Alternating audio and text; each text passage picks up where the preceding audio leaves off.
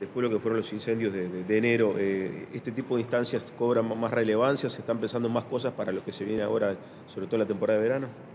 Sí, las dos cosas, ¿no verdad? La experiencia que tuvimos del, último 31 de diciembre y 1 de enero en la zona de Paysandú y Río Negro, eh, las advertencias de Inumet y lo que estamos viendo en el norte del continente, de, los déficits hídricos que se nos avecinan, la posible falta de lluvias, todo eso hace pensar en que tenemos que estar mejor preparados para combatir los incendios forestales ya sean en lugares privados o públicos. Eh, En tal sentido, por ejemplo, se habían adquirido, se iban a adquirir cajas para, para los aviones, para, para combatir el fuego y también normativa para generar más espacio en, en lo que son los- las plantaciones de árboles.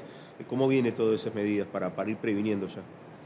Bueno, por un lado las cajas eh, del sistema guardián para la Fuerza Aérea se adquirieron más y en el sentido de la prevención, vamos a llamarle, que deben de tener los, las áreas forestadas, se está trabajando eh, dentro de- del Ministerio de Ambiente con aquellas 20 localidades que se habían seleccionado, pero al mismo tiempo estamos trabajando en el ayornamiento de un decreto para eh, tener una mejor alerta en todos los departamentos junto al Ministerio de Agricultura, Agricultura y Pesca, al Ministerio de Ambiente, Ministerio de Vivienda, entre todos estamos armando algunas disposiciones para que se pueda controlar más la limpieza en algunas zonas. Tiene que ver con la limpieza de los montes, el cuidado, la hojarasca. Exactamente, limpieza de montes, eh, limpieza en las zonas que están separados a determinadas ciudades, a las rutas nacionales, a las rutas departamentales, a los vertederos municipales, que también a veces surge algún pequeño foco ahí que se traslada alrededor, a la fecha de la quema de prohibición de los de los pasta- los- las, pasturas que los productores tienen que hacerlo.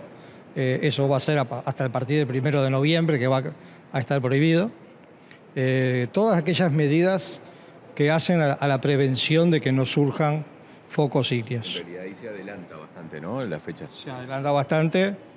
Eh, hace dos años era el primero de diciembre, la llevamos al 15 de noviembre y este año se va a llevar al primero de noviembre porque inclusive se prevé que noviembre y diciembre pueden ser las sequías más grandes. ¿Va a haber sobrevuelos eh, digamos, para eh, controlar y, buscar esa prevención? Sí, hoy eh, estábamos reunidos con distintos actores que tienen distintas aeronaves. Eh, va a estar toda la campaña de, de Verano Azul, en el cual van a haber distintas aeronaves vigilando.